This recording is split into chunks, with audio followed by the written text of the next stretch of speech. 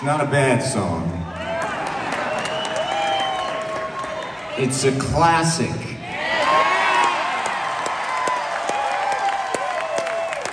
Think about it. Purple Rain. He was ahead of his time. Keeping with the road theme, this is driving.